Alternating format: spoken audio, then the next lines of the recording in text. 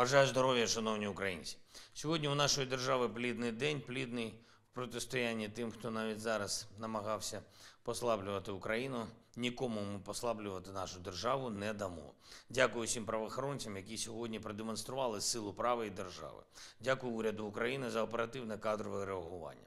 Зокрема, сьогодні були звільнені керівники митниці. Мені доповіли, що по частині з цих звільнених розпочаті дисциплінарні провадження.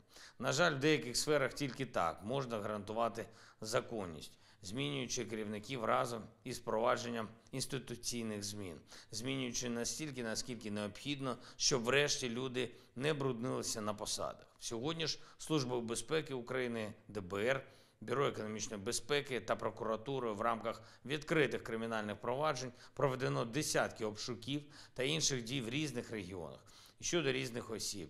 Я не хочу давати політичних оцінок, які можуть бути використані цими особами в інтересах свого захисту, але я бачу з реакцій в суспільстві, що люди підтримують дії правоохоронців. Отже, рух до справедливості відчувається, і справедливість буде забезпечена.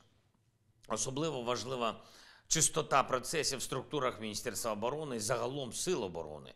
Будь-яке внутрішнє постачання, будь-які закупівлі, все має бути абсолютно таким же чистим і чесним, як зовнішнє постачання для нашої оборони. Хто цьому заважатиме, той не залишиться у відповідних структурах.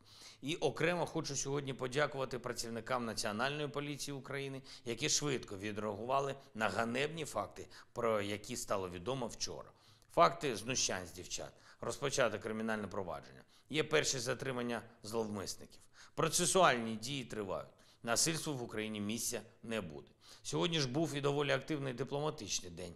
Нашу державу відвідав президент Австрії разом з кількома міністрами австрійського уряду. Є вагомі міжурядові домовленості, є чітке розуміння того, що Австрія не буде нейтральною в питаннях захисту життя та Європи.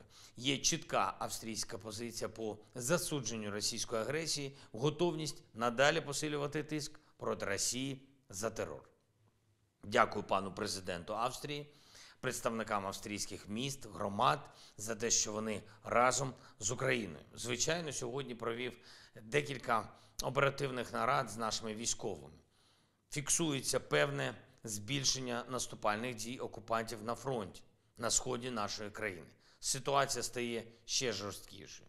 Дякую усім нашим воїнам, які готові до цього і які демонструють потрібну Україні стійкість. Ми стійко пройшли увесь цей час від лютого до лютого. Ворог намагається здобути зараз хоча б щось, щоб на річницю вторгнення показати, нібито наявність якихось шансів у Росії. Ми всі маємо бути в таких умовах особливо об'єднаними, особливо зосередженими на державних інтересах і як наслідок особливо стійкими. Впевнений, що такими і будемо. Ввечері підписав вже традиційні укази про нагородження наших воїнів державними нагородами, відзначені 244 військовослужбовця Збройних сил України. Я дякую всім, хто воює за Україну. Дякую кожному і кожній, хто допомагає нам отримувати необхідну зброю. Дякую усім у світі, хто підтримує нас. Слава Україні!